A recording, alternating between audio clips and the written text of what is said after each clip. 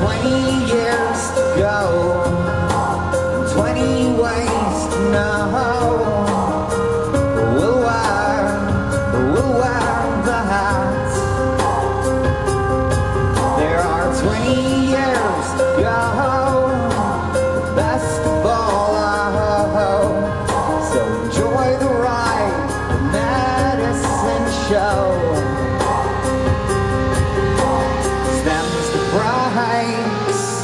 For we design our facts We need to concentrate on more than meets the eye.